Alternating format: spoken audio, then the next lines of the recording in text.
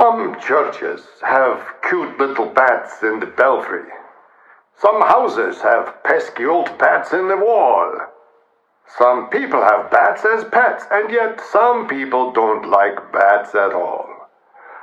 But most people today say that bats are okay.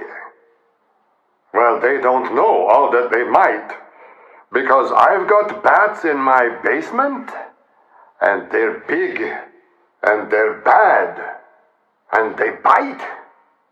And every night they all take flight. The fluttering sight of it makes me swoon. They flap and fly and fill the sky like giant kites against the moon. They ride the winds to who knows where, and who knows what they do. But know that you had best beware their airborne rendezvous, because these bats aren't friendly or polite. No, they're big, and they're bad, and they bite. Now, the bats go back down before daybreak, and they bide in the basement all day.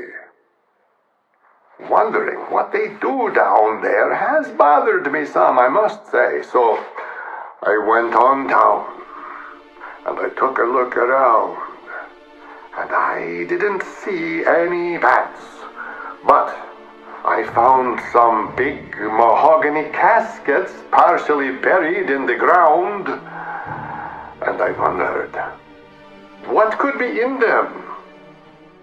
I suppose it couldn't hurt. I don't see anyone looking. I'll just brush aside the dirt, lift up the lid, and open it wide and see what's inside. And it wasn't a bat at all, you know. It looked just like a man. Except he didn't look too handsome. He didn't have much of a tan. I thought he was dead.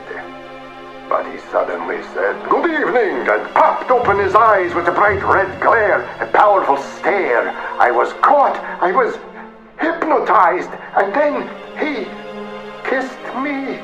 Mm, something like that.